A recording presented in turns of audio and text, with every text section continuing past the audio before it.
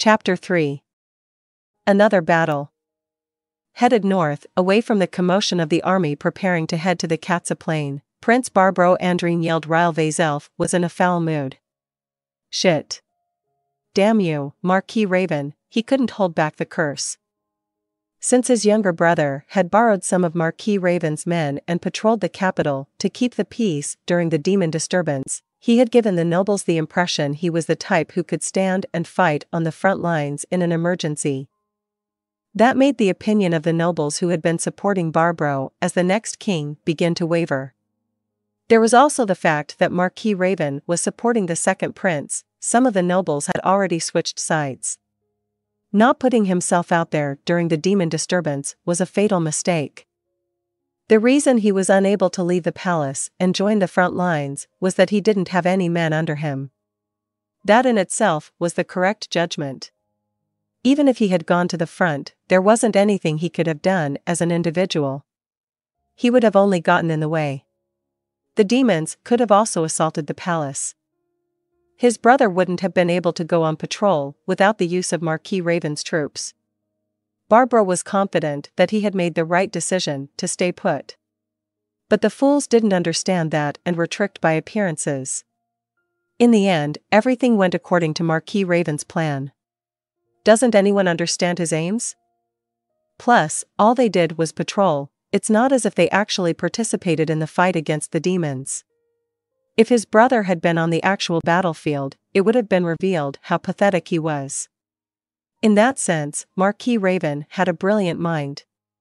And there was one other thing that offended Barbro. How miserable it was to be headed to Carne, that desolate village. He was falling behind in the struggle for the throne. In this fight against the Empire, he needed to score some achievements and look like the eldest prince he was supposed to be. He had to show the world that he was fit to be the next king, the reputation his brother had stolen from him would be his once more. That made this battle with the Empire critical, but instead of participating, he had been ordered to conduct this trivial job like an errand boy. Where was the honor in riding to a frontier village and investigating its link to Ainz Ooal Gown?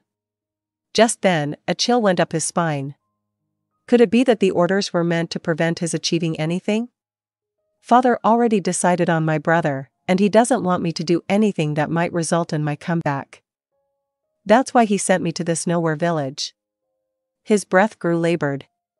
His heart was burning with hatred for his father for passing him up and yielding the throne to his little brother just because he happened to show a little bravery. It was only by chance that he noticed the person riding next to him, despite his agitated tunnel vision. Prince, are you feeling ill? Shall I call a priest? The shrill voice from so near grated on his brain as if it were echoing and made him want to vomit. But he held back. It was thanks in part to the chilly winter air, but also his daily life training in glossing over things as a member of the royal family. Showing one's true emotions was foolish. No, no, don't worry. I was just thinking about this job my father gave me and how best to get it done. More importantly, Baron Nosmarts, you went to visit the adamantite plate adventurer Momon, right? How did it go? I'll tell you, Prince. It's most dreadful. Momon was out, so I didn't get to meet him at all.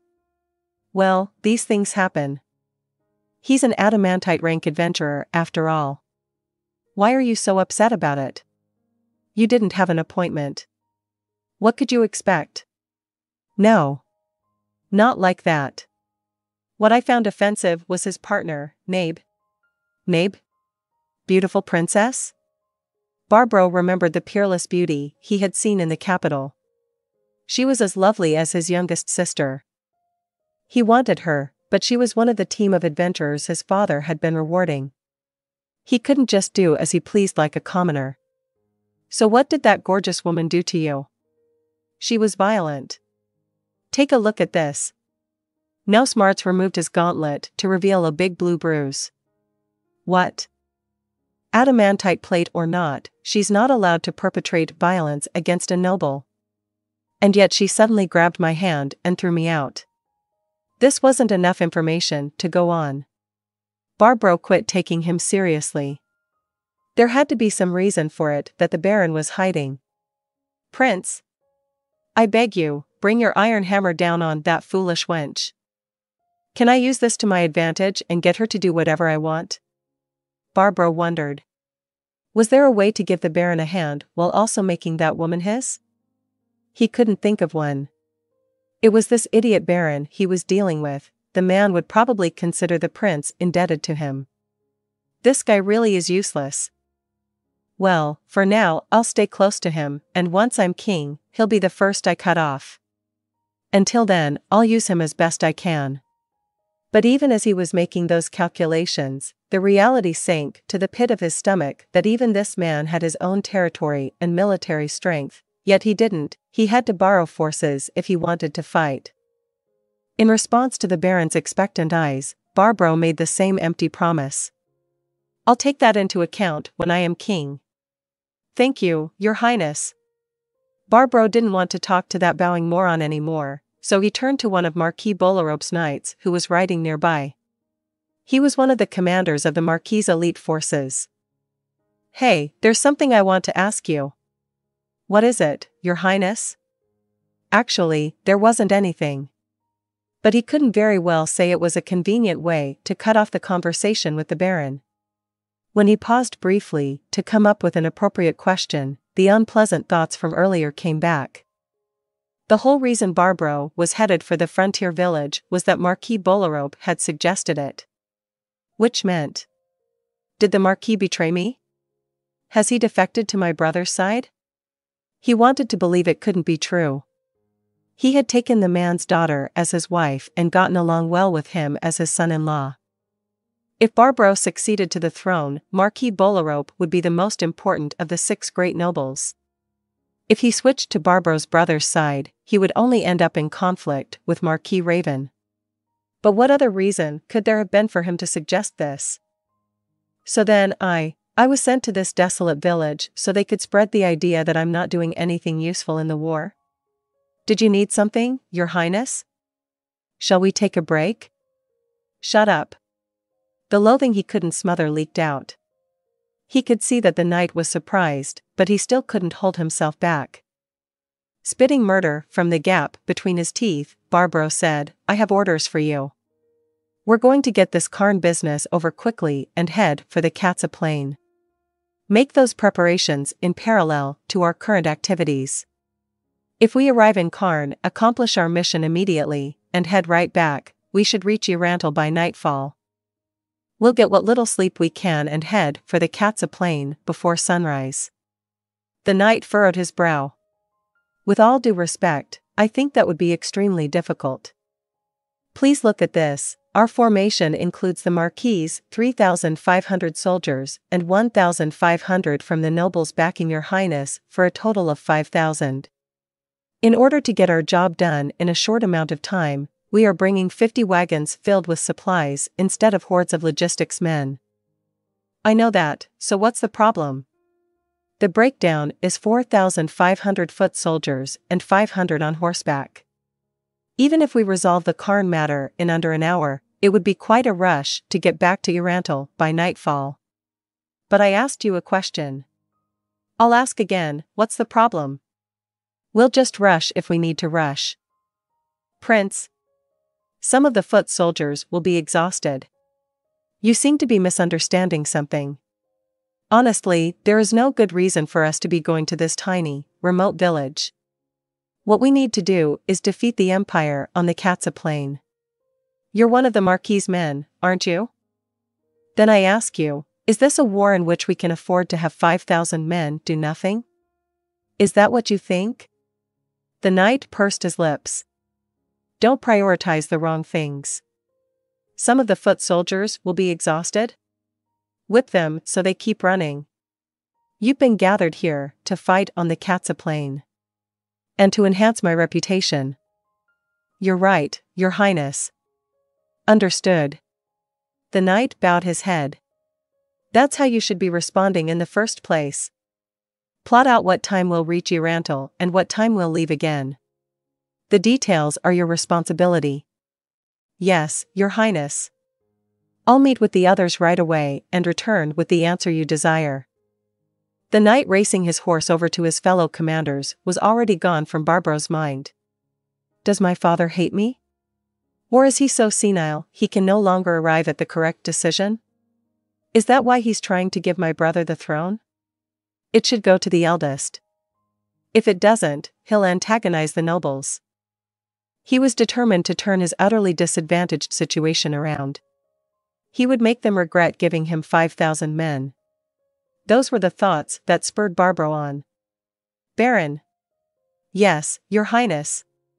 I'm expecting a lot out of you. He had the feeling the thrilled voice was saying something, but it went in the right ear and out the left. Damn you, Zanac. You can just stay in the capital regretting the mess you made. The man was his brother, and they shared blood, but in the race for the throne, he was an enemy to kick out of his way. And it wasn't as if he loved him or anything. He wasn't about to kill him, but if he got in his way, he wouldn't hesitate to. When I'm king, what can I do with him? Should I kill him so he doesn't become some idiot noble's rallying cause? Would that be a waste? If he were a woman, there would be all sorts of uses for him, but. He's not very smart, but our little sister is. I should sell her to the highest bidder. I wouldn't want the royal bloodline to continue through her, so the best would be to marry her into a far off country's royal family, but. Well, if she'll be useful in building my power base, I can think it over a little more. Barbro's eyes became distant, entranced in his ideal vision of the Re-Estize kingdom. Him seated on the throne, the nobles before him bowing their heads. His retainers, who carried out every order he gave. That would be great. He caught himself smirking a bit and quickly covered it with a hand. Right now, they would finish their business in Carne, and then the question would be how fast they could get to E-Rantel. Whether his dreams came true or not would depend on that branch in the path. Assuming I force the soldiers to hurry, the important thing is to make it back before the war starts. Or what if we waited for it to start and then went in as an ambush? He thought it was a very good idea, but he wasn't sure he could maneuver his troops into position to strike from their flank or behind. He would have liked to leave it up to the knights, but putting other people in charge didn't seem like a good plan given that the goal was to achieve something that would win him the throne. As he was trying to think about what he could do to shine the brightest and be selected as the next king, he had a flash of inspiration. Could I use the people of Carne to negotiate with Ainz Ooal Gown? It was as if a ray of light was gleaming down from above. This was the optimal plot. Regardless of why Ainz Ooal Gown saved the people of Carne, Barbro felt he should be able to use them as bargaining chips. If this caster Ainz Ooal Gown, whom he'd never heard of, backed out of the war, the Empire would lose its casus belli and be forced to withdraw unless they wanted to be labeled as invaders. And if what caused the Empire's withdrawal was Barbro's actions, that would be wonderful. Father wouldn't be able to ignore my opinion anymore. I would practically be guaranteed to be king. Good. Most excellent. If Ainz Ooal Gown just happened to save Carne as he was passing by, he might not pull out of the war. In that case, he could hand the villagers weapons and force them to fight. This was a general mobilization of the nation. The villagers of Carne would have no way to refuse. It seemed the king had pardoned them for not responding to the draft, but that was before the situation changed. When playing things by ear on the ground, it was up to the commander, Barbro, in this case.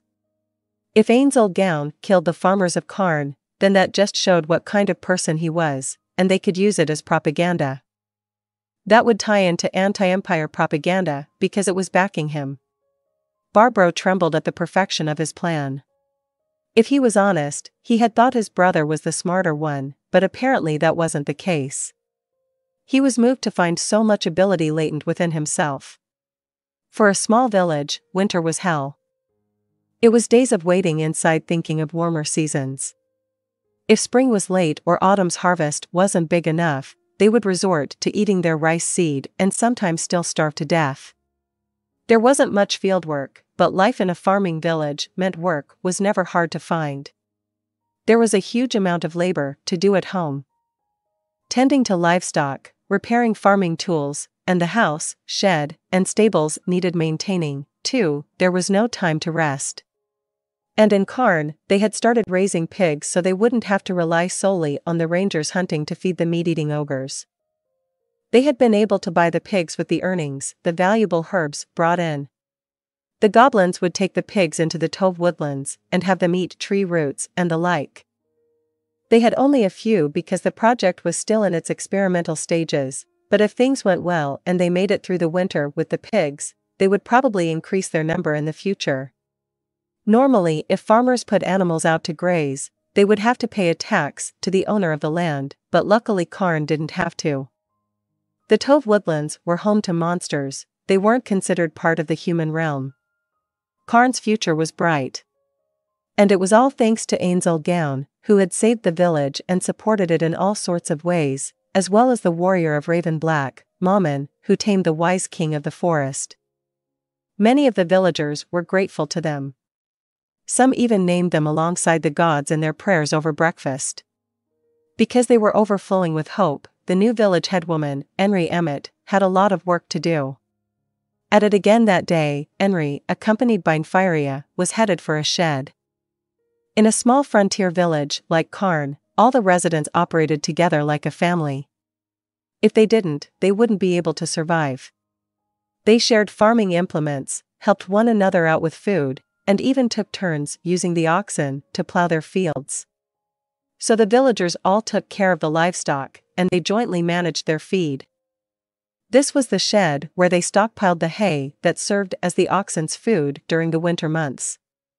Enri opened the door and went inside. Nfirea followed a moment after. Enri continued straight into the mountain of hay and sat down. Her butt sank in. Nfirea closed the door and sat next to her. He used a spell to cast white light throughout the area. Headwoman, save the playtime for later. I need you to check if there is enough hay and make a bunch of decisions. You called me headwoman again, Nfirea chuckled slightly at her dejected voice. It's fine if you want to call me headwoman. After all, it's a small thing compared to Arg and his buddies thinking that if I tried, I could crush goblins with my bare hands. After she won every arm wrestling match against Arg and the others, even the villagers seemed to be wondering if maybe the rumors were true, which was like a stake through her heart. Incidentally, the ogres didn't participate. If she had lost against them, she wouldn't have made the right impression, and if she had somehow won or even put up a good fight, she would have never recovered. If I miss my chance with Nfi, I may never be able to get married. Her hands got sweaty, which she hated. Should I go open the window? It's dry outside now anyway, so it won't matter if we open it. It's fine, isn't it? Plus, I already made us a magic light. Are you sure? If you're okay with it, then I'm fine. The magic light was brighter than sunlight. All Enri meant was that, since it was still light out, maybe it was a waste to use magic. Well, she also wanted to change the mood. There was no special reason, so she didn't care that he said no. But Nfirea reacted in a weird way. And his ears were bright red. Did he use up that much mana? From what I've heard, just a magic light doesn't make you that tired. Maybe he cast some spells before we came here? Actually, he smells kind of good, different from the usual herb smell. What, Enri? She had brought her nose closer to him and taken a whiff. His voice became panic stricken. Nothing. Something smelled good, that's all. Well, that makes me happy. It's cologne I made, are you going to sell it in town? You could probably fetch a pretty good price. No, that wasn't really the idea, well, whatever. Anyhow, the hay here is fine. Ready to go to the next one? Yeah. But first, let's check some things here. It's cold outside. It's not very warm in here either, but. Well, it's fine. So there are several things I'd like to discuss with you. Nfirea seemed nervous next to her. I wonder what's wrong. His profile bathed in Enri's questioning gaze, Nfirea took out a sheaf of papers. They were covered in tiny letters. Enri had learned to read somewhat, but as far as she could see from a peak, there were a lot of words she didn't know. The first thing is the procurement of food for Arg and the survivors of his goblin tribe and the ogres. What? Aren't we fine for now? They helped us out with the fall wheat harvest, and we bought food for the ogres from town. Yeah, and thanks to the expensive herbs we sold, we were able to buy enough food. We definitely have enough to weather one winter. We'll be alright even if the population increases a little. But I realized we might run into trouble if the numbers go up much more, so maybe we should think about another way to obtain food. There were already 14 goblins from Arg's tribe living in the village now. It wasn't as if they were reproducing. That was just how many had fled from the magical serpent of the west and the giant of the east. I think we're all right, but should we go back to E-Rantel to buy more food just in case? Really, I wanted to save some money and buy iron farming equipment. If we had iron implements for the ogres, clearing the land in the spring would go so much more quickly. I guess the only problem is that people would think something was weird if we ordered ogre-sized tools that humans wouldn't be able to use.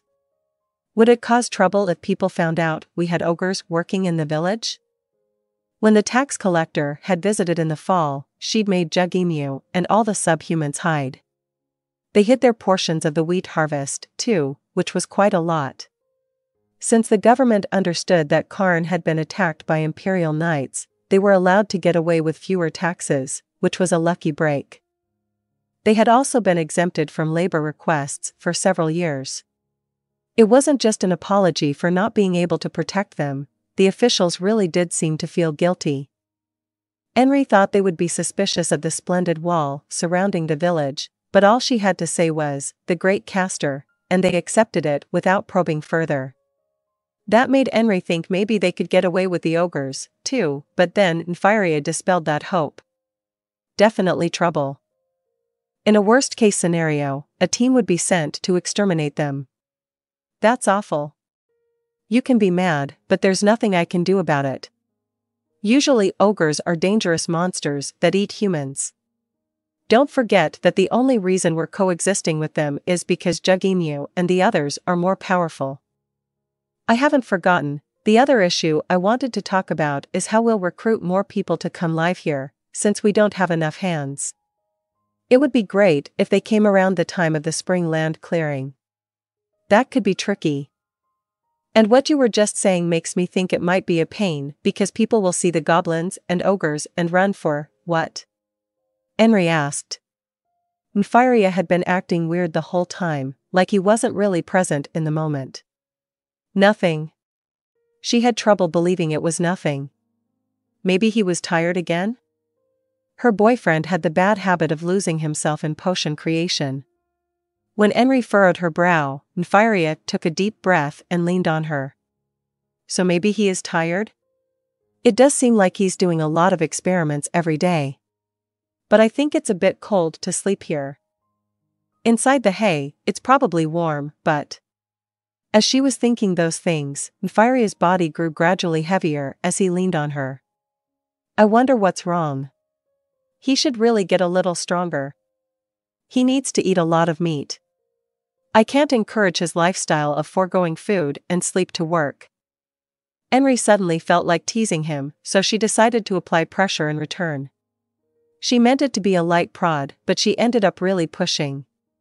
Nfirea looked at Enri in shock and confusion. His face was bright red. Yeah, it's embarrassing for a guy to lose to a girl, isn't it? Then you better eat your meat. When she relaxed, Nfirea, with his eyes closed, flopped over onto the hay. For a few seconds, it was quiet between them. What's wrong, Nfi? Did you get tired? He sat up, looking bizarrely red. It's nothing, I'm fine. Lady Enri.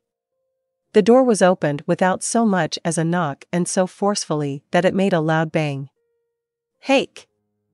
A strange cry escaped Nfirea. Why?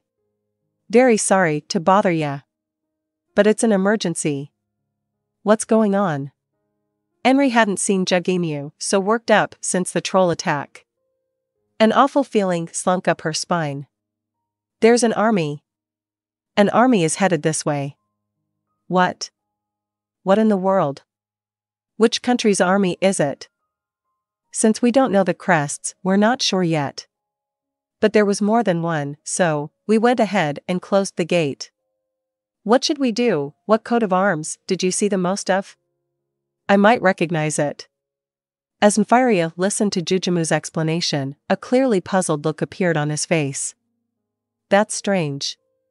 That's the kingdom's flag. If I knew the nobles' crests, I would be able to tell who it was, but, Carne was a frontier village, beyond it was nothing but woodlands. That meant their destination had to be Carne, but there wasn't any reason for them to come. Why in the world are they coming here? Do you have any idea, Nfi? You mean why the kingdom's army is heading to our village? If they were aiming for the Tove woodlands, it would be weird to bring the military. They would just send adventurers instead. Other than that, maybe a civil war? Could that really be it? I heard that our king isn't actually very strong. Apparently, the nobles and he are locked in a power struggle. So maybe they're coming to Carne because we're a part of the king's domain and they want to attack it? Enri could practically hear the blood draining from her face, because their village might once again be subjected to the horrors of invasion. But we're not the same as we used to be. Enri faced the issue head on. Let's have at least some of the people escape into the forest before the troops arrive. Sorry, Lady Enri, we noticed them too late, so if we ran now, we'd have to leave everything behind. It's also winter, and when there's a good chance monsters will come out of the forest, we would have our hands full just guarding against that. Enri shuddered at Jugemu's pained expression. If the army burned down their village during this cold season, they would have no chance of survival. Then. Then yes. If we can't take the food and things with us, let's prepare to fight while we hide as much as we can. Yeah, that's a brilliant plan, Enri. The cellar we used to hide the ogres, Jugemu, and everyone when the tax collector came shouldn't be full yet. Let's put everything in there. Ready to leap into action, Enri realized she hadn't asked a critical question. How many? How many villagers they would need depended on how many soldiers there were. How many are there? A hundred or so? No, the way Jugemu trailed off, Enri was seized with the urge to plug her ears. More than that. A few thousand. Enri blinked. Nfirea next to her did the same. It seemed like at least 4,000. What the? Why so many? I can't imagine what they're thinking. What reason could there possibly be to send that many soldiers to this village? Enri, is there any possibility that word about the goblins got out? No, definitely not, Enri answered immediately. She could think all she wanted, but there was no reason that information would have leaked out. There were the new transplants, but they were mainly the sort of people who trusted the goblins more than humans. And ever since the troll attack, the transplants and the locals had really come together as a community. The only other people were the adventurers who visited from the city, they were gone by now, but Nfirea was confident that Momon and Nabe wouldn't have leaked the info. Then, we should prepare to escape and ask them why they've come. Fighting should be our last resort. Trying to fight 4,000 soldiers was utter suicide. As you say, Master Nfi, that's our only option. Going up against that many would be impossible. Yeah. So we'll buy time with the idea of escaping in mind. Okay, let's go.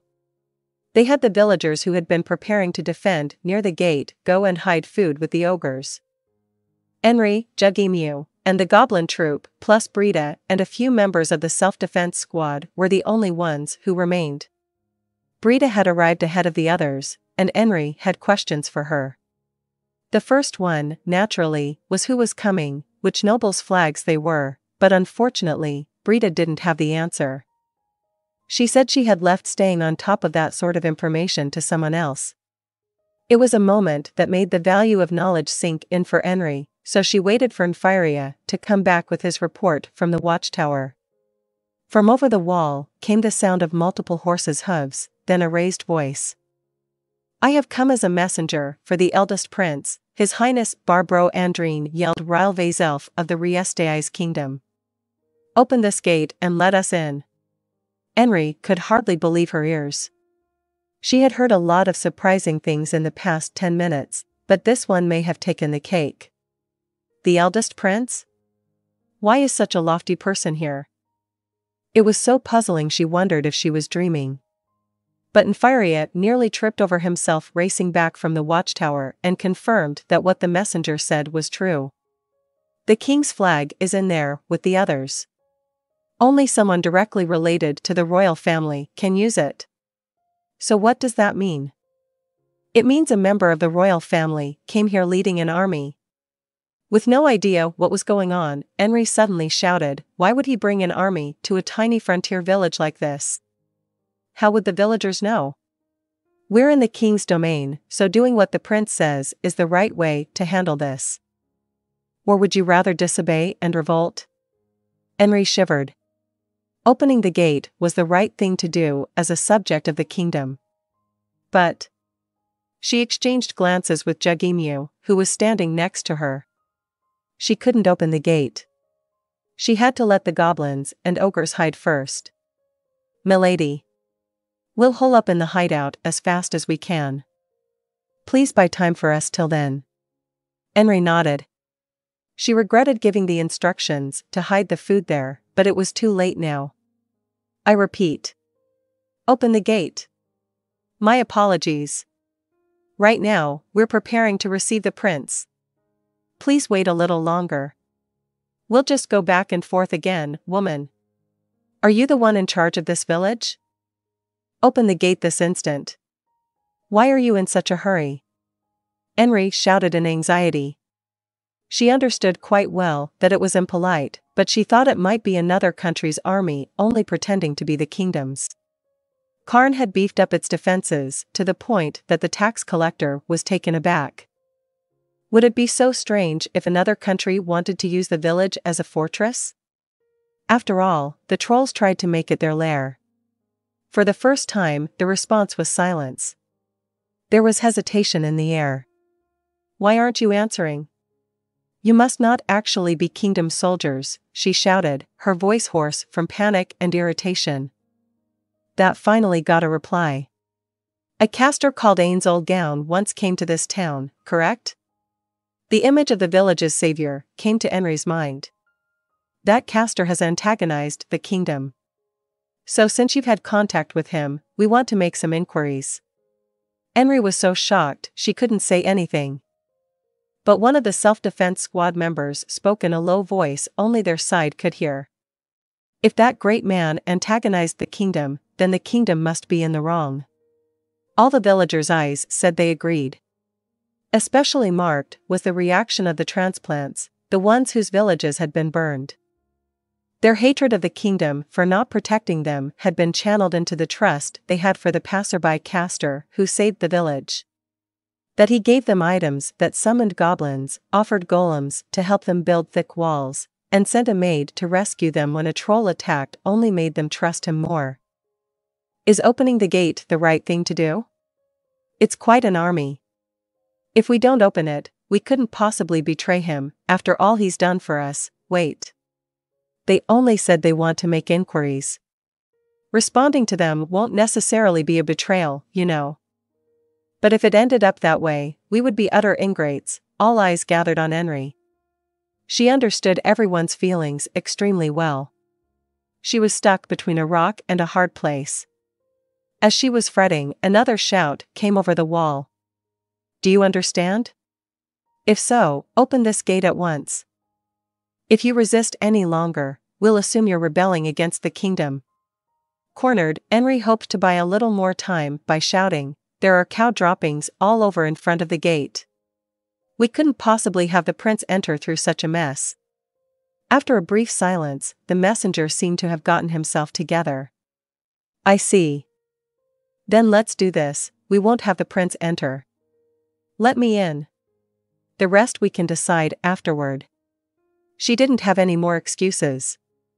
Enri shouted the words that popped into her blank head as they came. Sorry, I got some cow poop on my hand. It's everywhere. I need to go wash it off. Hey. Enri watched Jugemu and the others running away as fast as their legs would carry them.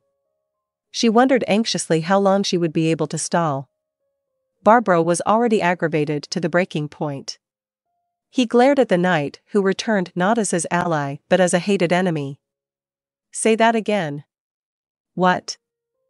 Fury hissed between Barbro's clenched teeth, and he practically spat the words one by one.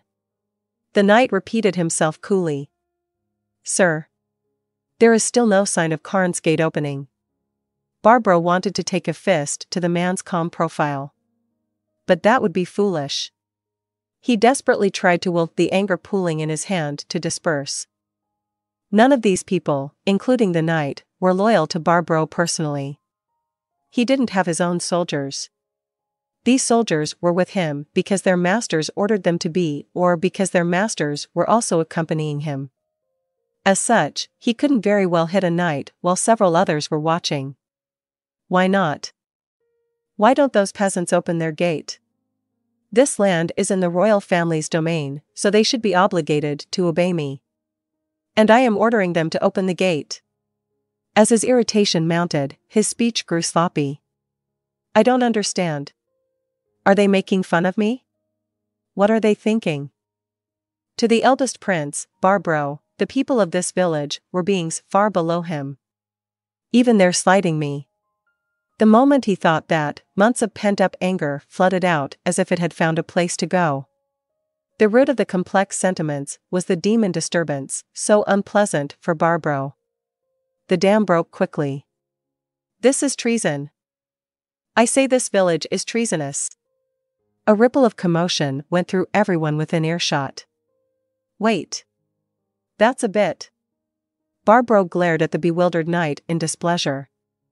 If an entire village was declared treasonous, eliminating all the residents was standard practice. After that, the village would be burned down to completely erase it. But was that really alright in this case?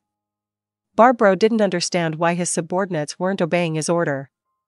Did the Marquis soldiers also make light of him? Was that why they weren't complying?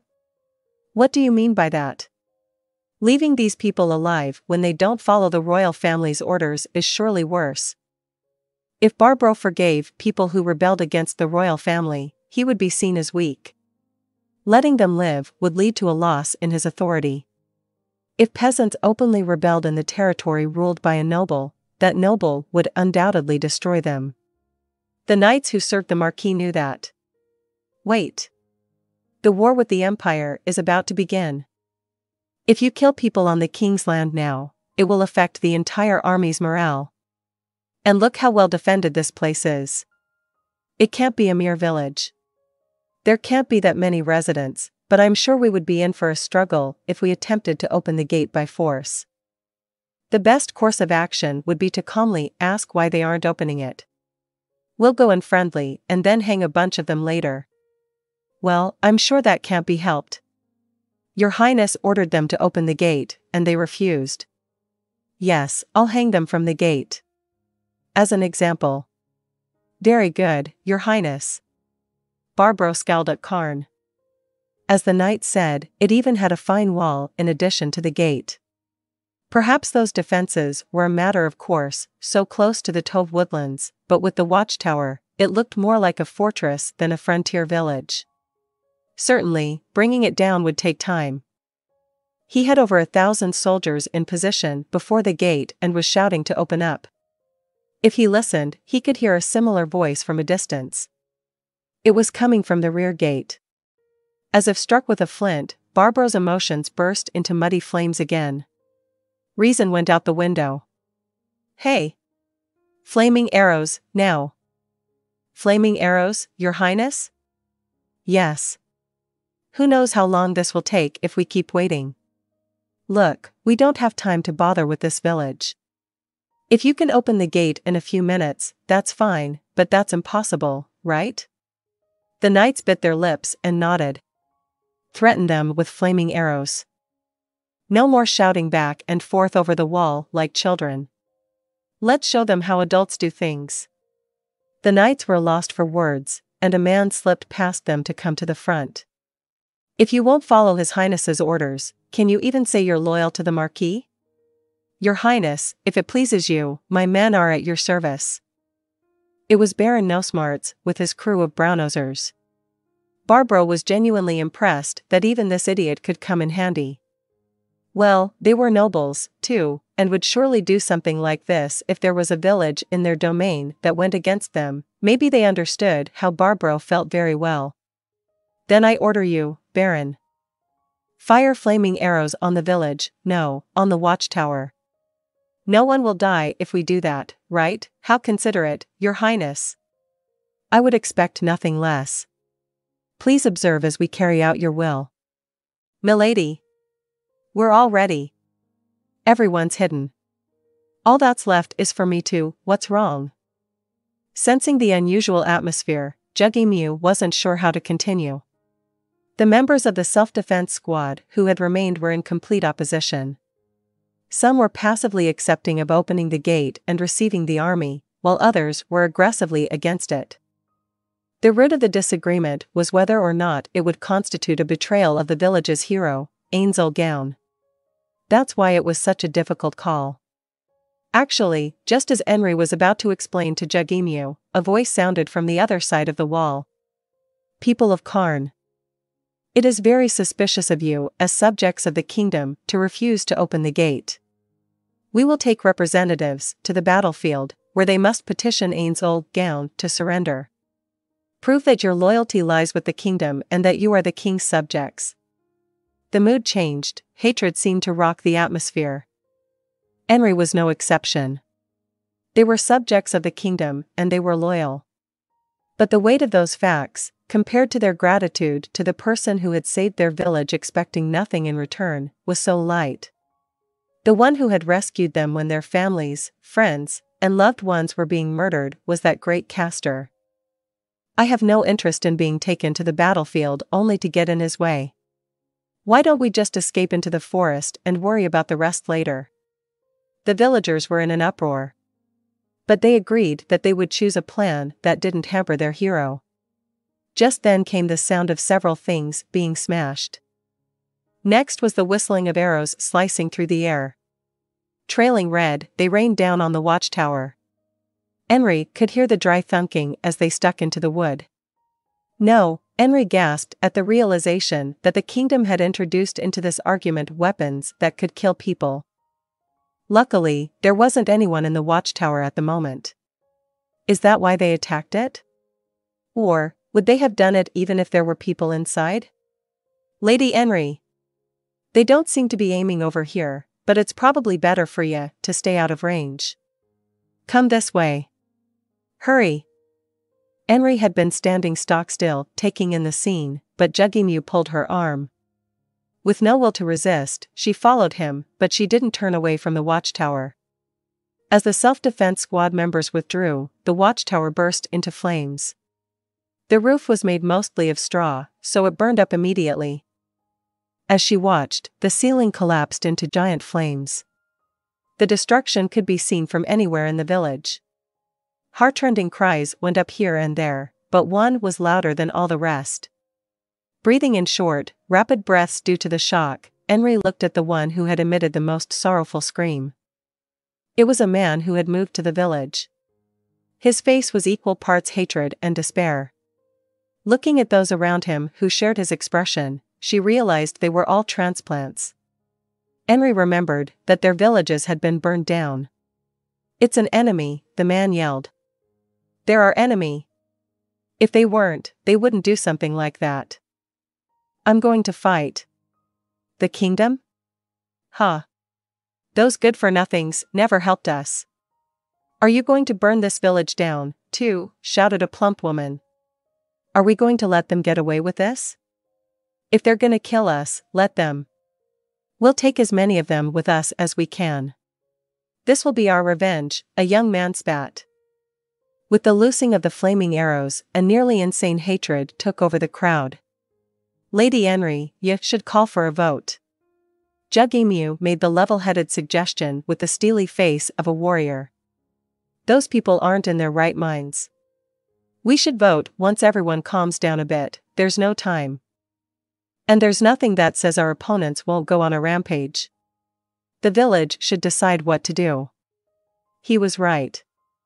They had already shot flaming arrows at the watchtower. Their next attack would surely be worse. They didn't have a second to lose. Having made up her mind, Enri took a deep breath. When she glanced at Nfirea, who had brought Nemu over, he gave her a little nod as if to say, You can do this. Enri felt a slight warmth in her chest. That gave her the last bit of courage she needed. Everyone. We're going to make the decision for the village with everyone here. Once we reach a decision, please follow it. Energetic voices replied in approval. Does anyone think the village should go along with the kingdom's suggestion? No one raised their hand. As her heart pounded, Enri shouted, Then we'll risk our lives to oppose it. Raise your hand if you want to fight against the kingdom. With a roar, so many hands flew into the air that there were too many to count. And none of them had simply raised their hands. All were tightly balled fists. The villagers' faces were determined. Certainly, there was fear. Of course there was. They had chosen the path that ensured their deaths. But there was something else affecting them more deeply. They didn't want to be the type of people who repaid all the kindness they had received with ingratitude. Then we fight. This is our fight. We'll repay that kindness. Jugemu, please come up with our battle plan. Jugemu moved quickly to the front and stood next to Enri. We've seen your determination.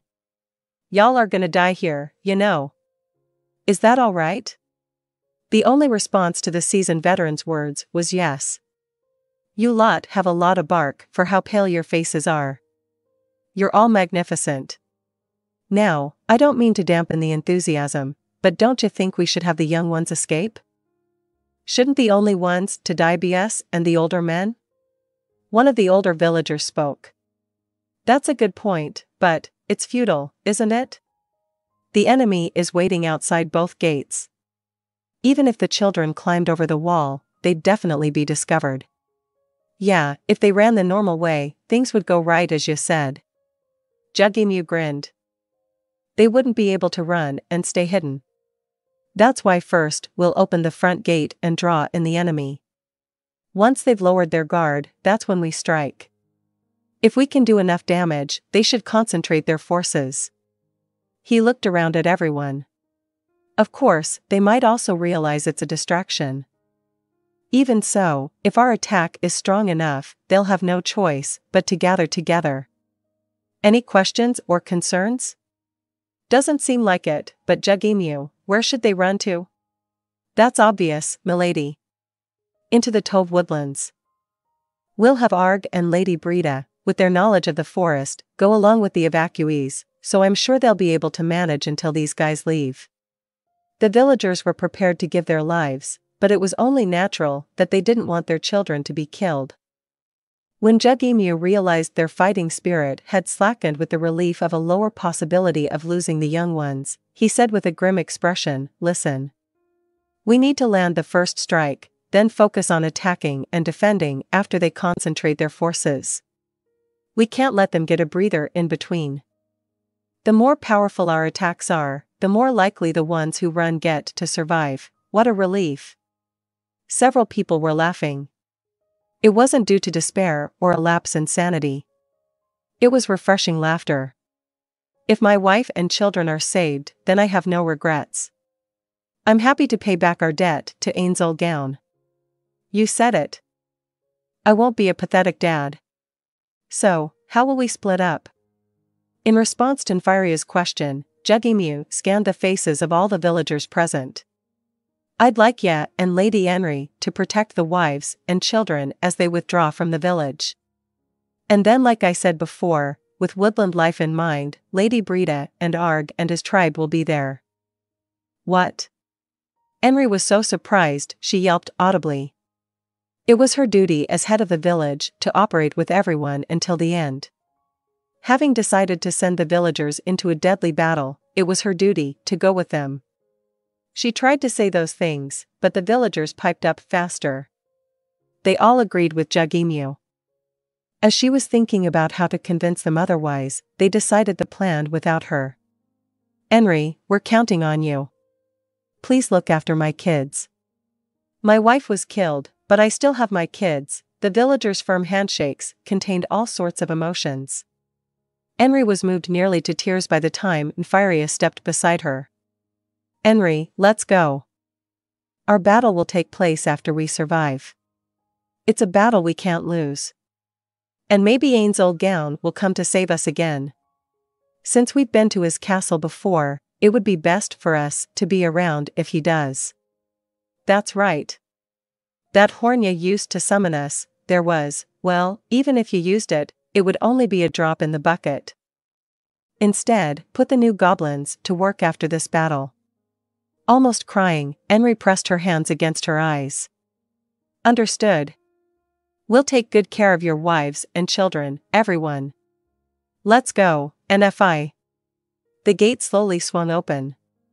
We should have shot the flaming arrows first thing. Readying the follow up volley was a waste, but, Barbro frowned in displeasure. They had used up too much precious time they didn't have. It would be quite the forced march to make it up later, but there was nothing to be done about that now.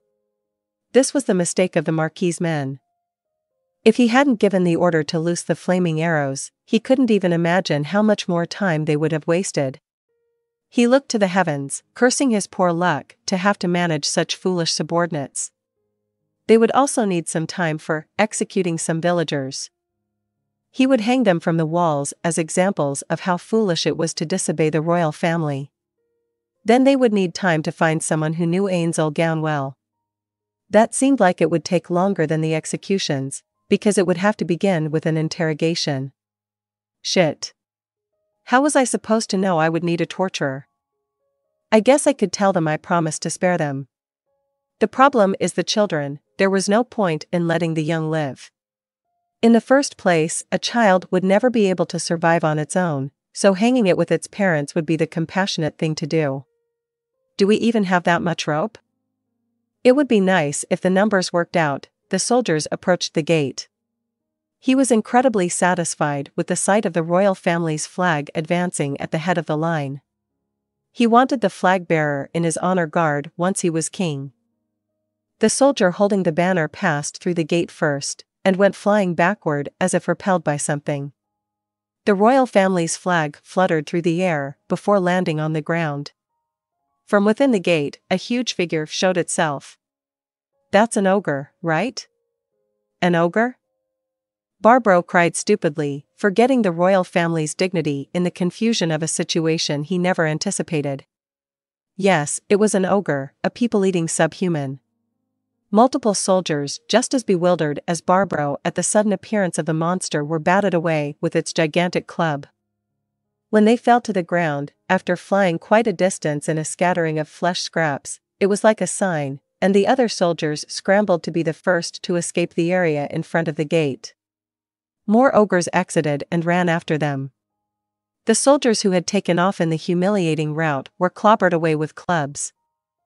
They were like dolls being sent flying by children. Their retreat was too sloppy to be called a withdrawal, probably because it was the Baron's troops. They never thought their reward of being the first to enter the village after firing the flaming arrows would end up like this. Just as Barbro raised his eyebrows at the sight of the Baron abandoning his territory's soldiers and skedaddling out of harm's way himself, a high-pitched whistle sounded. The Marquis' cavalry had all raised their lances. Their magnificent discipline was enough to make Barbro think, now that's more like it. But they couldn't jump into the melee of the ogres chasing the fleeing soldiers. A lance was most destructive during the charge. Its advantages were essentially neutralized in a melee. Why aren't you firing? Barbro screamed. Damages would mount if they continued to let their opponents close in. The best move would be to forsake the soldiers fleeing toward them and shoot them along with the villagers.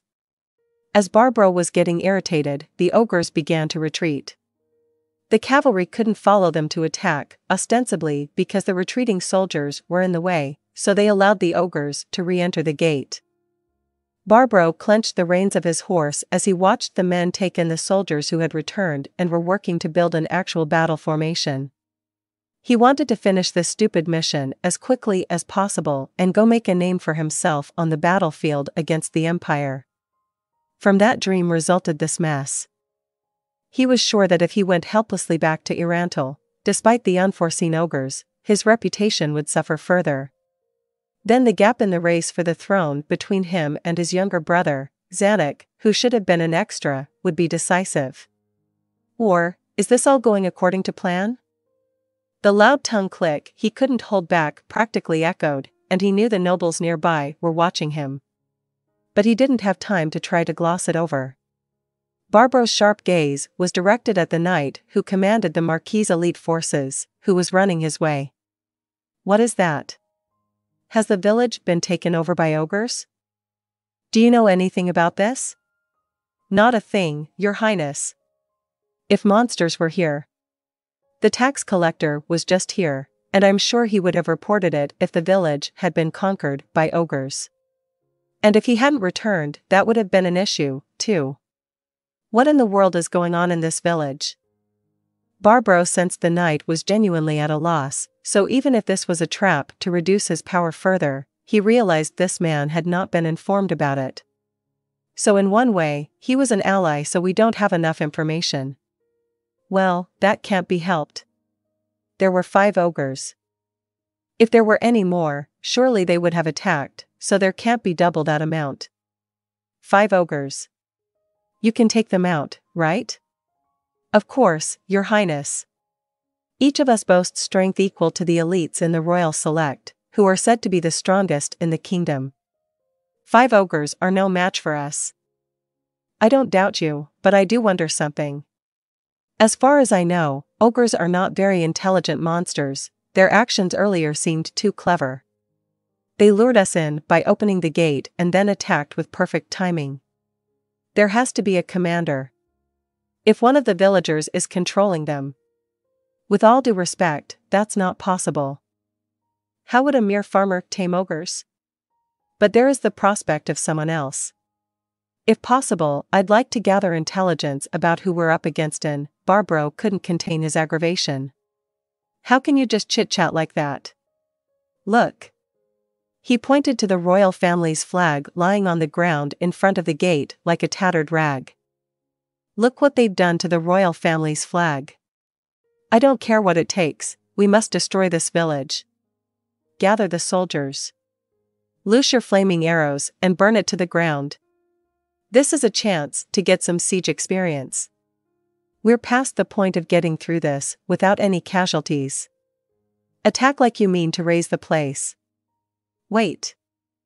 Perhaps it's not a villager, but a subhuman with a brain, like an ogre sorcerer. Maybe, but what about it? Barbro spoke slowly to the puzzled knight, as if he was explaining to a child. Listen. It doesn't matter if it's the villagers controlling the ogres or a smarter monster controlling the villagers and the ogres. The people in this village have rebelled against the royal family, the rulers of this land. We need to show the world how foolish that was. It's possible the villagers have been taken hostage and are innocent. Were you not listening? What did I say? It doesn't matter. The knight seemed to be having difficulties accepting his point, so Barbro shrugged. Okay, okay. I understand how you feel.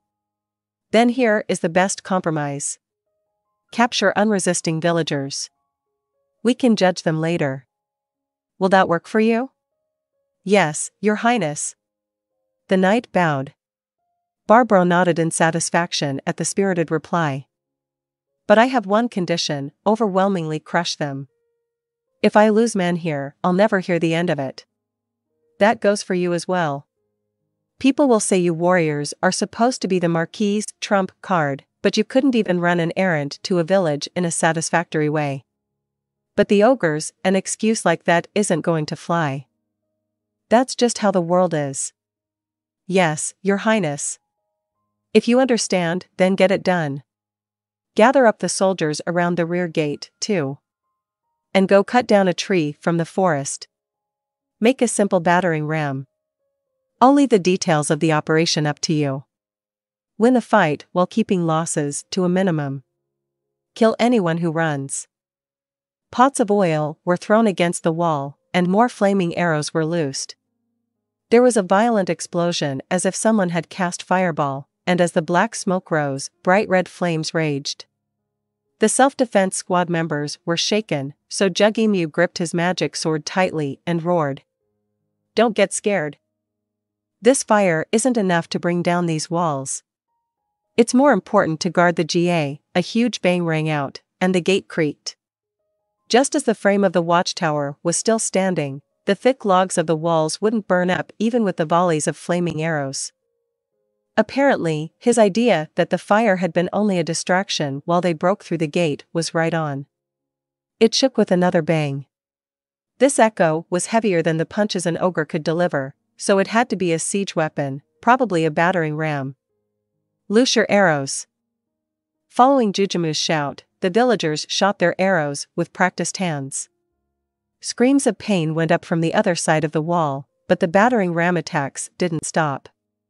Maybe it was a wave attack of multiple battering rams. Loose. Timed with Jugemu's voice, another volley of arrows flew. But this time, the other side shot back. Several times the number of their arrows returned as a rain. But not one of them hit anybody. Their opponents weren't inferring the firing locations, their arrows were sticking out of places that totally missed the mark. Still, if that many archers continued firing, their hit ratio would gradually improve. That meant there would be trouble if they didn't immediately reduce their ratio to zero again. Take shelter. Take shelter. We're switching positions.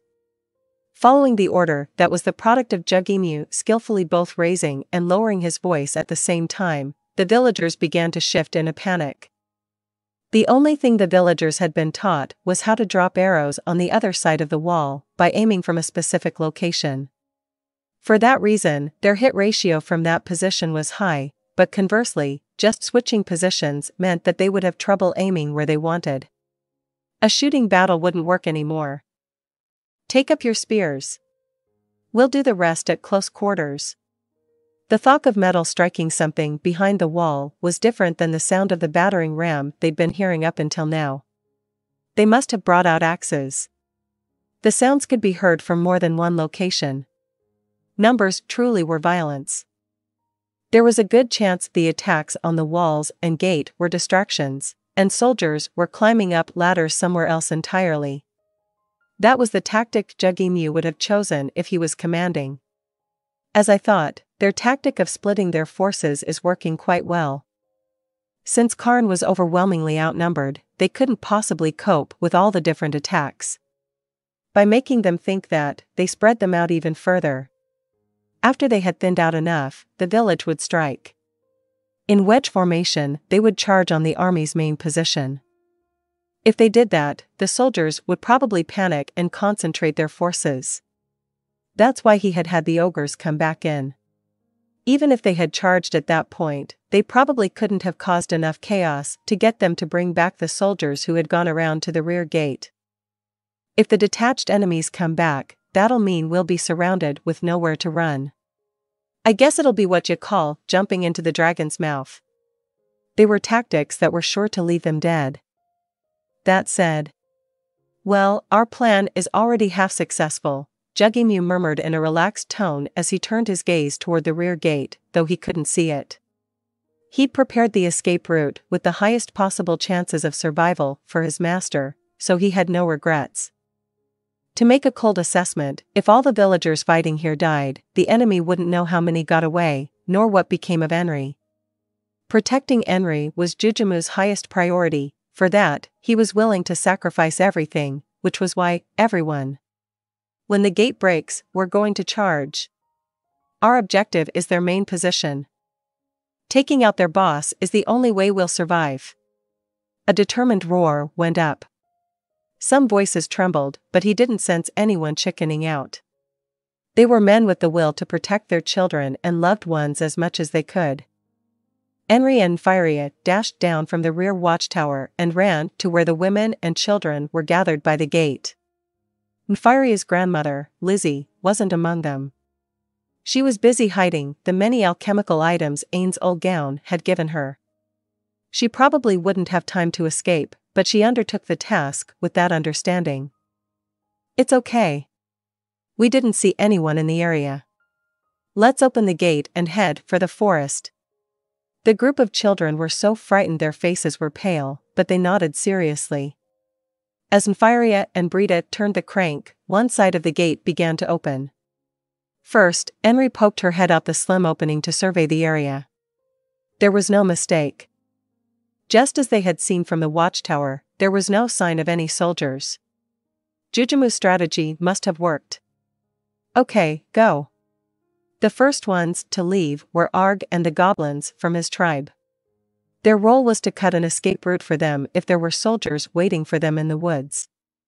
Next went Brita. She was on the lookout for any soldiers Arg and the others might miss. Out of consideration for the feet of the children behind them, the vanguard adjusted their speed as they ran toward the trees. After that, the children took off running with a buddy. Some mothers ran with their children in their arms. Children without mothers grabbed the hand of any older child. Bringing up the rear, Enri and Nfirea glanced at each other and then ran. After exiting the gate, it was a long way to the forest. And it seemed several times farther away than usual. They frantically pumped their legs. Still so far. Still. Just then, they heard a horse neigh behind them. Enri's cardiopulmonary function during this period was shockingly good, to the point where it kind of grossed her out. Even so, her heart jolted and her breath grew rough. Terrified, she turned around and saw something she didn't want to believe. She saw despair. No way, over a hundred mounted knights had appeared behind them. They must have been lurking in the watchtower's blind spot, pressed up against the wall. If they were showing themselves at this point, it was probably because they had determined that, since no one else was running out, those two were the last of the escapees. It wasn't that far from the village to the forest, but humans and horses moved at different speeds. Even if Arg and Brita could get away, it would be impossible for the children. The horses would definitely catch up to them. The knights were raising things that gleamed, so she had no doubt they meant to cut them down from behind. She cringed with the fear of the time before. Nemu was running toward the front. Will she make it? Enri, keep running. Nfirea stopped. Nfi. I'll buy you time. Don't be ridiculous. I don't think Lupusregina is going to come out of nowhere to save you at the last minute like last time. I said to run. Enri had stopped, and he screamed at her. If you want to buy time, I have a better way than you. Enri took out a shabby looking horn. It would summon 19 goblins. Still, each one was strong, so they would be sure to buy them time. You dummy, look how many of them there are. What are 20 odd goblins going to do? Nfirea was right. They would just go around them and continue their attack. But it would be dumber to not blow it. That goes for you, too. Enri didn't have any more time to talk. She put the horn to her lips, ready to blow. Save us, goblin friends. It was a bass sound that thundered out, shaking the ground. Enri blinked, hardly believing she had produced it. When she summoned Jugemu and the others, it had made a sort of pathetic put like a kid's toy. Enri, she noticed that Nfirea's alarm stemmed from something he was looking at past her, farther back. She turned to follow his gaze. She shouldn't have had time to while the cavalry was charging at them, but for some reason, the knights had jerked their reins and come to a stop. Perhaps because it was so sudden, the horses were rearing up. Enri looked behind her. What? In Yggdrasil, players were able to name their own items save for a few exceptions. One of them was artifacts, which were dropped as completed items. The artifact Goblin General's horn. It was a small, shabby looking item, so there was one question. This item summoned 19 goblins in all. But the goblins it summoned were, to Yggdrasil players, mobs so weak that they were practically useless. So why did an item like that get such a grand name with general in it? Why not just call it Goblin Troop's Horn? Many Yggdrasil players wondered the same thing. But no one ever came up with a satisfactory explanation, everyone had just kind of accepted that it was a strange name. But actually, there was a reason for it. And the reason was Jugemu swung the magic great sword he'd taken from the giant of the east. He put all his might behind the blow, but an enemy soldier blocked it. It seemed he couldn't halt its momentum entirely, though, because his stance broke momentarily. Normally that would be when Jugemu would launch a follow-up attack, but the soldiers surrounding him didn't allow that. They came at him from either side, well synchronized to cover the first soldier's weak spot. With a click of his tongue, Jugemu swung his great sword like it was part of his body to repel both attacks. This goblin is magnificent. I can't believe he's holding the three of us off this well. He's quite a fighter. I never thought I'd meet a goblin this strong. Jugemu noted the composure in their impressed voices, which irritated him. If it was Jugemu against one of the soldiers, he would win. Against two, it would depend on the enemy. Against three, he was very likely to lose and, sensing another soldier trying to come around behind him, he inched backward. Against four, he had no chance. At first, it had been easy to break through, all the soldiers were weak.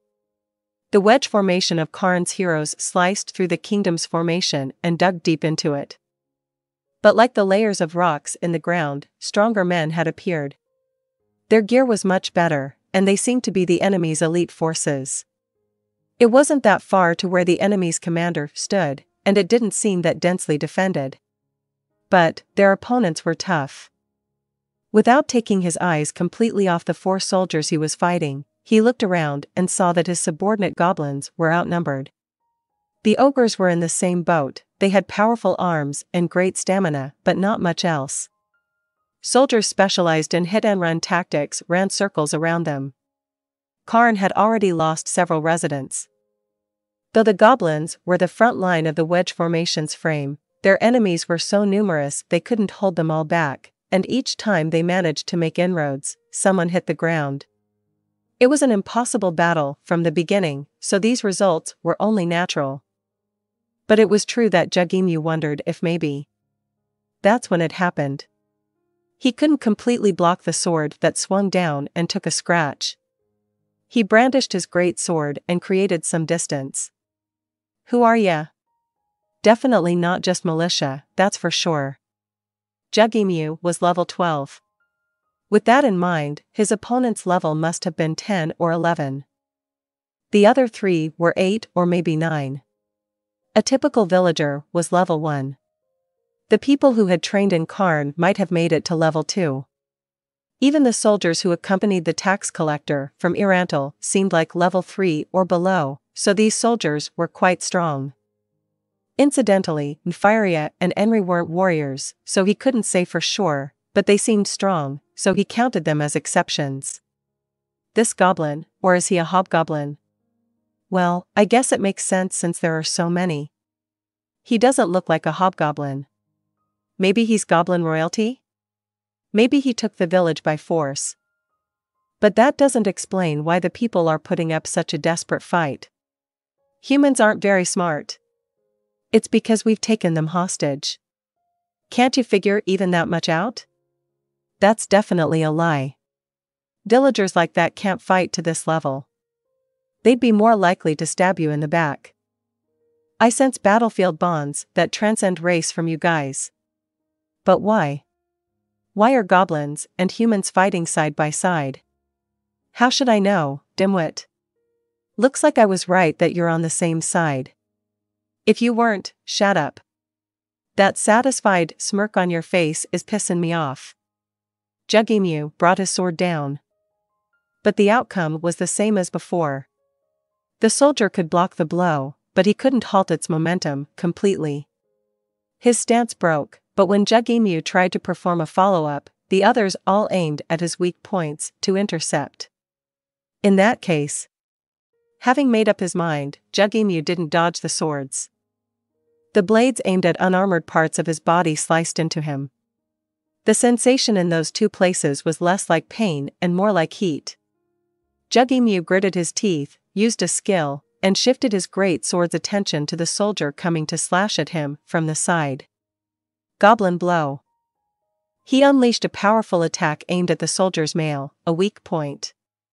It cut through the armor and left a large wound in the man's flesh. The moment he was hit, the soldier spasmed. The great sword had poison magic, though the man seemed to be resisting it, albeit not perfectly. His ability to fight hadn't been completely eviscerated. But then, it wasn't as if Jugemu was distracted, but he failed to dodge a strike from behind. The breastplate he was wearing protected him, so he wasn't seriously injured, but the impact of the sword made his whole body shriek. Shit. That's my line. How dare you do that to Vike? Vike, fall back. Go around behind him. This was a melee, so Jugemu dispatched other soldiers who entered his range, as well. Their shabby gear meant they were probably peasant conscripts. The sheer numbers they had were really unfair. Fall back. These guys, these goblins, are seriously tough. Fall back. We'll handle this guy. Go to the villagers in the rear. I don't think so. Juggy whipped his sword around, and the peasant soldiers backed up, frightened. The heat turned into a throbbing pain. Aside from swinging a sword, one of the most important things a warrior trained in was the ability to get used to pain. And another was to gain an understanding of one's pain threshold, so that it was possible to run when things felt bad. Jugemu's senses told him he could still fight. But only that he could still fight. How many more minutes would he be able to stall them? Out of the corner of his eye, he saw another villager collapse. The earth soaked up his blood. They hadn't had much of a chance to begin with, but now they were doomed. That said, he figured they had bought Enri and the others enough time to escape, so all that was left for him to do was lurch forward toward death. Our objective is the enemy boss. I'll go even if I have to go alone. Did they see his determination? The expressions of the soldiers in front of him hardened. Just as Jugemu clenched his sword and resolved to charge, a commotion went through the entire battlefield. When he glanced in the direction his opponents were looking, he couldn't look away again. It had appeared next to the village, quite simple. Its true power wasn't to summon 19 goblins. In Yggdrasil, no one had managed to put its actual value on display, so it had been discarded as a junk item. In this other world, however, it unleashed its true power for the first time. Its name, once more, was Goblin General's Horn. Its real power, if used when three conditions were met, was the heavy, rhythmic sound of a drum echoed across the battlefield from next to Carne. The eyes that gathered in the direction of the noise popped wide open immediately, because an army of about 5,000 strong was advancing to the beat of the drum with orderly motions. Both Prince Barbro's side and Carne's side first assumed it was reinforcements for the kingdom's forces. The only difference was whether they could think of someone who would send Prince Barbro reinforcements out here or not. But the way the newcomers looked made it immediately clear they weren't kingdom reinforcements. The army was made up of goblins. The race of subhumans, called goblins, was smaller than humans, only about the size of children, but their determination made them seem double or triple their actual size. They were wrapped in the sparkle of steel. Their weapons, made for maiming and killing, were polished to perfection. They were the weapons of warriors. This wasn't a militia, but an army of true warriors. Now. Anyone still alive, run for it. It's reinforcements. We have reinforcements. Run that way. Jugemu barked loudly. He didn't know who they were. They could have been friend, foe, or someone totally uninvolved. Running over to them just because they were of the same race was the wrong choice. Really, they probably should have fled back to the village. But Jugemu sensed something like sympathy. He had a hunch they honored the same master. He had the feeling they would shelter them and protect them. The Carne survivors didn't hesitate to run for the great goblin army. The encirclement crumbled as they ran. The kingdom's soldiers knew they should be pursuing the runners, but their movements were sluggish. But that was only to be expected. The huge army that appeared was so well disciplined. Approaching carelessly had to be dangerous. There were two reasons the kingdom's army let Jugemu and his men go. The first was that if they passed on the chance for a follow-up attack, it would let them reorganize their formation. The drums were already telling them to fall back. The other was that they worried if they killed any goblins, the great army would unleash fierce and immediate retribution to avenge their kin. The new goblins readily accepted Jugemu and his men, loosening their formation to allow them to slip inside. The moment the last ally had been welcomed, they closed their ranks and returned to their original positions, like a steel door. Jugemu looked over his friends as they lay on the ground, dead tired. No one had made it unharmed. Many of them were so relieved to reach safety that they fell unconscious. As he scanned the area, his vision seemed like it might begin to blur. The number of goblins, ogres, and villagers had decreased. But I guess we're lucky that over half survived. Kona. He called the name of the only goblin in their group who could use healing magic, the cleric. But Kona shook his head. He had already used up all his mana in the fight. Then what about first aid? Can anyone? Midway through Jugemu's shout, he saw a bearded goblin wearing a Chinese headdress and carrying a fan made of feathers approaching. From his demeanor, he was clearly the core figure of this army. You are General Enri's escort, I take it? I have been entrusted with command of this army. I am a goblin strategist. Now that we have come, no one will do you harm. Never fear. We'll take them to the healing core right away. The goblin raised his fan and a robust group of goblins arrived bearing stretchers. Quickly now, load them up and carry them over. Since we're here now, the loss of even one life would be a disgrace. The injured were carried away. You are also wounded. I think it would be best for you to get treatment from our. Sorry. That's very kind of ya, but can we talk first? I'll last that long. The strategist must have believed that Jugemu's attitude wasn't just bravado, because he nodded once and replied, I would expect nothing less from the leader of General Enri's escort. What would you like to ask? Well, I imagine there is only one question on your mind. If you're looking for General Enri, she's in the screened position behind me. I'm sure she will be pleased to see you. That's good. He heaved a genuinely relieved sigh. So much tension went out of his body that he felt like he might fall over, but he didn't want to look so pathetic in front of their successors. All right. Then I suppose I'll go see her. It doesn't seem like we'll have much of a role to play in the battle to come anyhow. I appreciate you yielding the action to us newcomers. What? It's fine. The seniors' duty is to give their juniors a chance to earn some achievements, after all. Thank you. We'll be sure to show you what we can do. Now, then. Our only option is victory. Instruct the heavy infantry to advance. What's that? We nearly had them. Shit. Barbro's eyes practically popped out of his head as he glared at the intruders who had obliterated his efforts. Nothing was going his way. Why do I have to face a goblin army in this tiny village? It was so aggravating he wanted to rip his hair out. If it was an imperial army, he would have happily ordered his men to continue fighting. But these were goblins. Even if they won, who would care? Prince, requesting permission to withdraw. He turned scornful eyes on the knight and his suggestion. The reasonable thing to do was withdraw. He didn't know why such a large goblin army had appeared in this place, but if he reported back with that information, it would probably be counted as a job decently done. But it wasn't hard to imagine that if he turned tail and ran without clashing swords at least once, he would be branded as the prince who fled from goblins. And if he was defeated, he would be the prince who lost to goblins. The nobles were so hungry for gossip that the rumors would spread until everyone had heard them. Anyone who didn't see the battle wouldn't care how strong the goblins were. All that mattered to them was if the story was interesting or not. Barbro mentally cursed the aristocrats ridiculing him from their positions of safety. Permission denied. Fight them. Your Highness.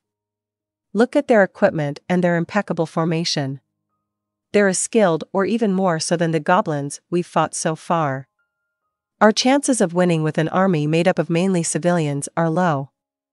Please order a withdrawal. Barbro knew that without being told. But he had no other way to protect his reputation besides fighting. Now they could only pray the goblins weren't as tough as they looked. You fool.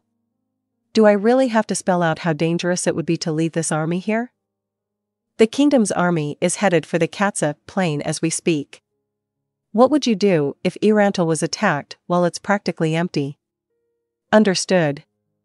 All they could do was hit them once and withdraw immediately after that if the army was as powerful as it seemed.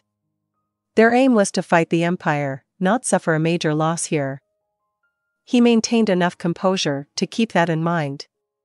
The soldiers ahead of Barbro tidied their ranks, and almost as if on cue, the goblin army began advancing.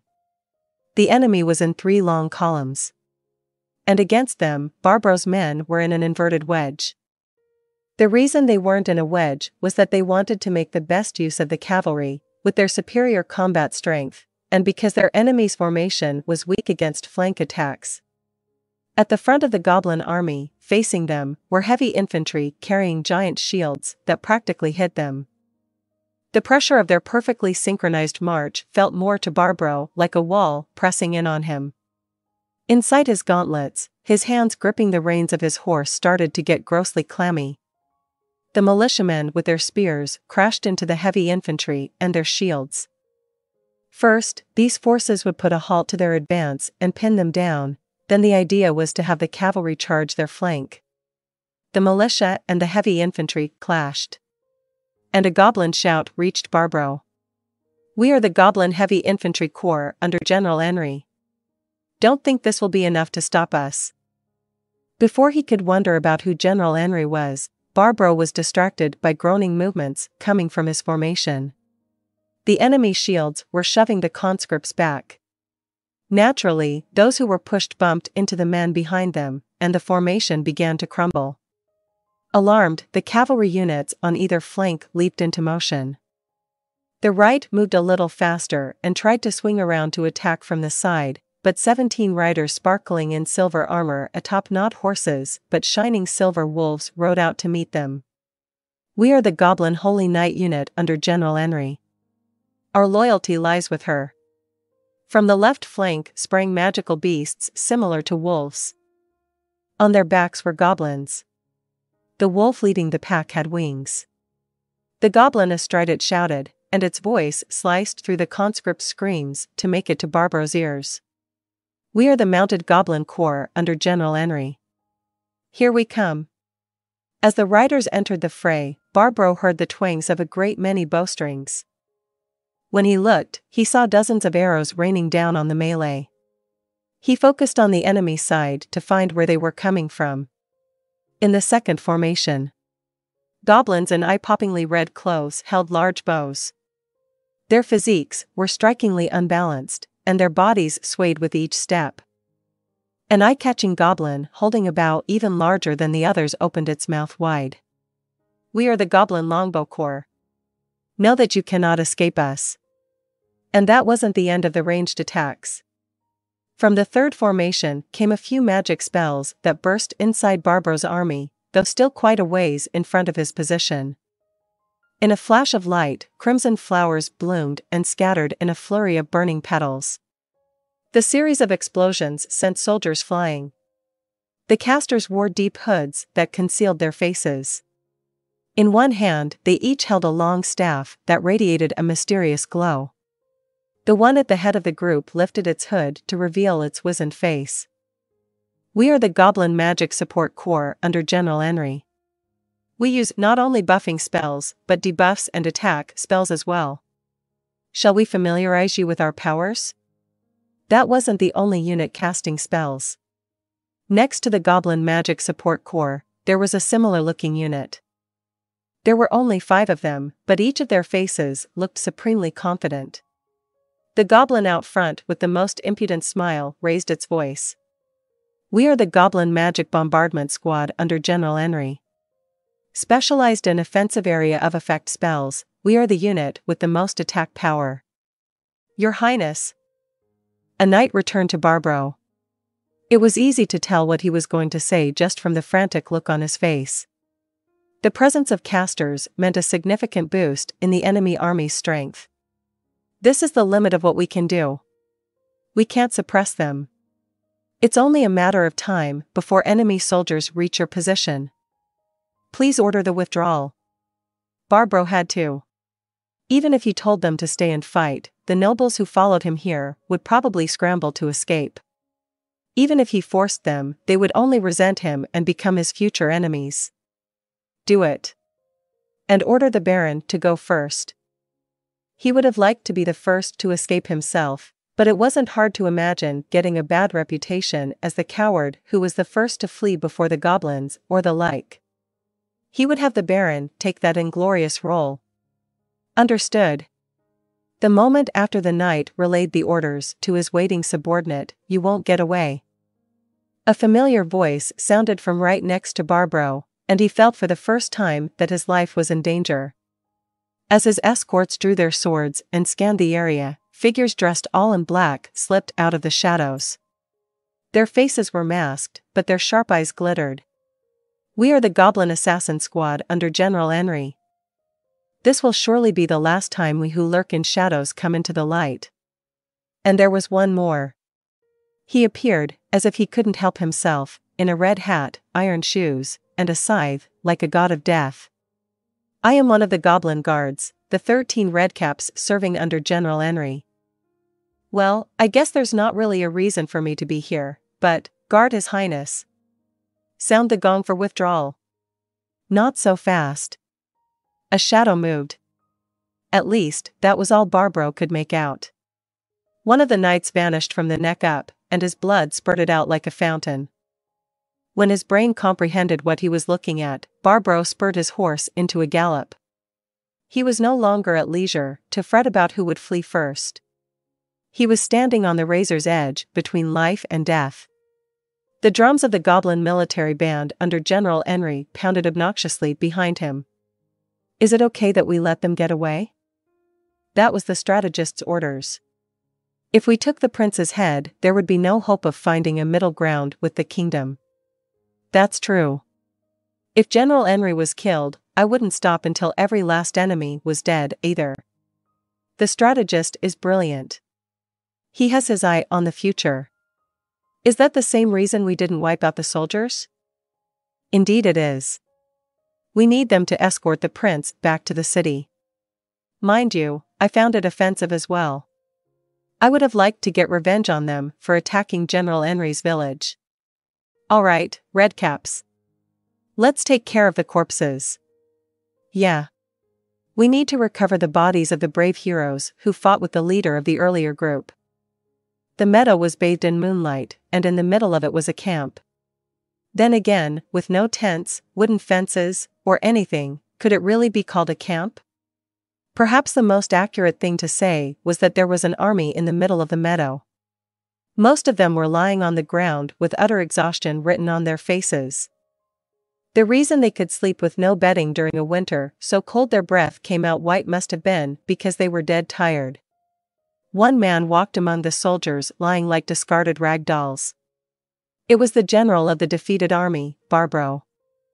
Should he have felt lucky that he survived or unlucky that they encountered such a formidable enemy? The great goblin army that suddenly appeared in Carne was a powerful adversary, no, overpowering. As a result of their clash, Barbro's forces had been broken in an instant, and they had no choice but to flee in a rout. He had been losing soldiers so fast it was like his forces were melting away. Where did those goblins come from? He wanted to know. One possibility he thought of was that an army of goblins was building a huge kingdom in the Tove woodlands. A group like that coming south was the most convincing explanation. The nobles who had fled with him appeared to have arrived at the same conclusion and had consoled him as they fled. We got unlucky. Those have to be the most elite goblins. Just bringing home word of those goblins is a fine deed. So stupid, Barbro clenched his fists. Defeat was defeat. Certainly, the goblins had been tough. Anyone who had fought them would know that there wasn't anything Barbro could have done. But to someone who wasn't in the know, Barbro was the prince who had been defeated by goblins. He would surely be ridiculed. Shit.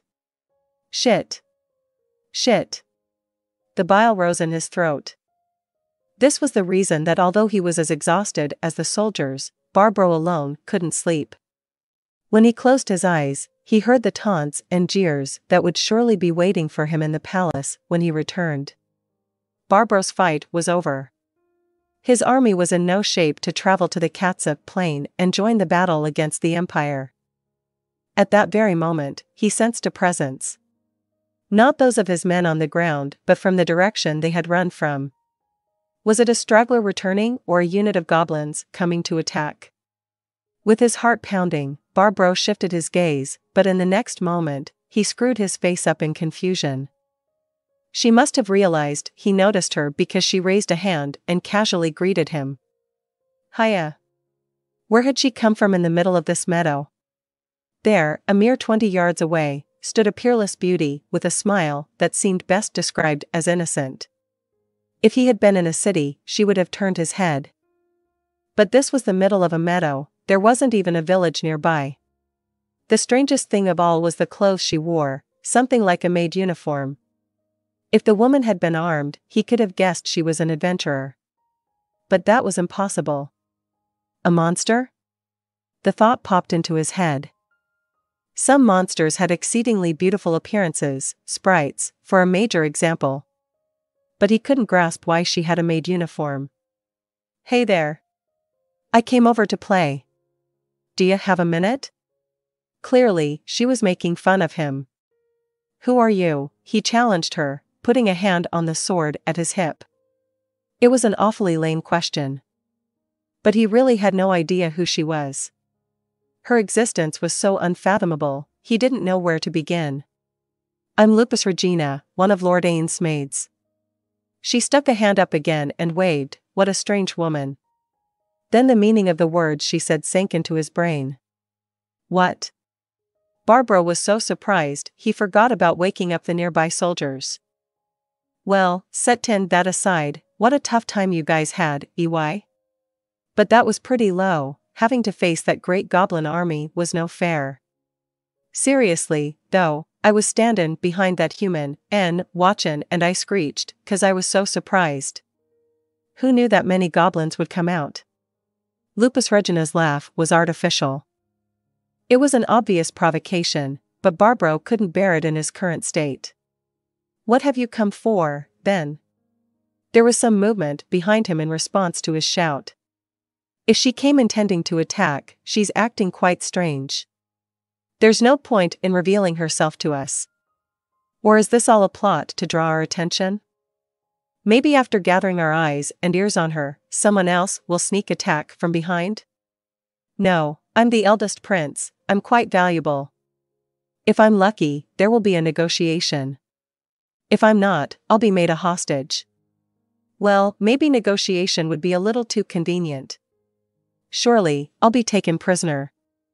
Barbro felt the throne recede again. That said, the high ranking royal aides who sent him out there without any intelligence on the massive number of goblins in that village could be put first in line for the blame. If I'm captured, I should get the chance to meet Ainz Ooal Gown.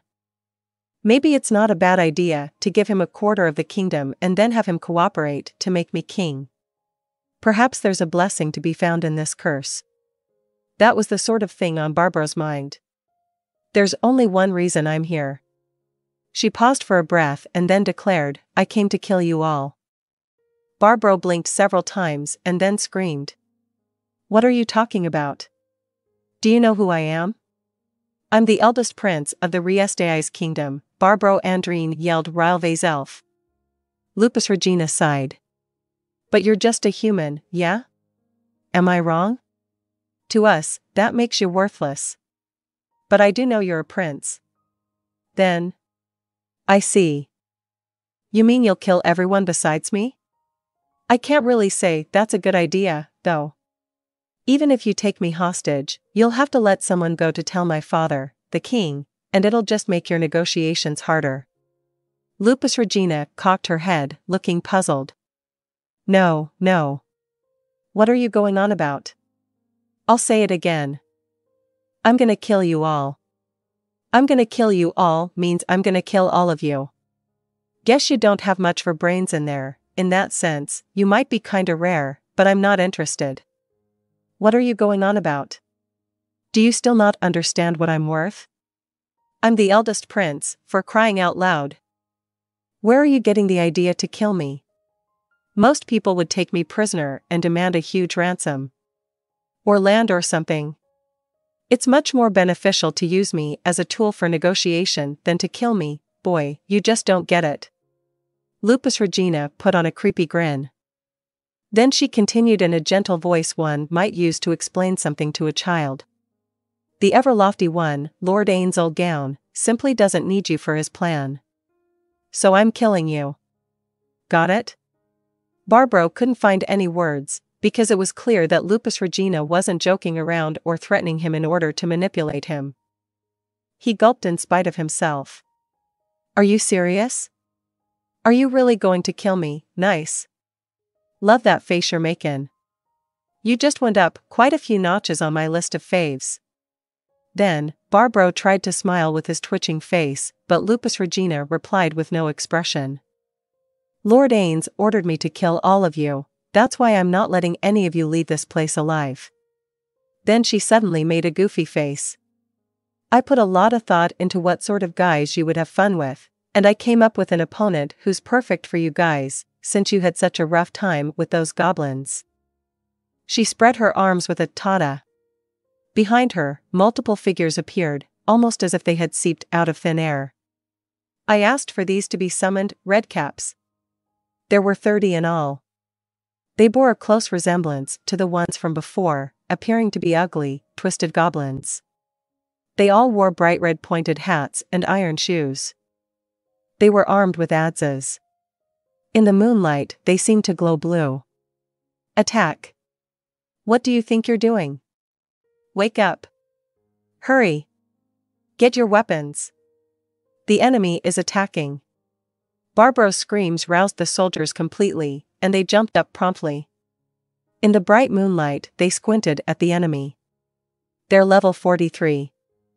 Honestly, it's totally overkill, but we didn't have any goblins weaker than this in the library. Someone screamed.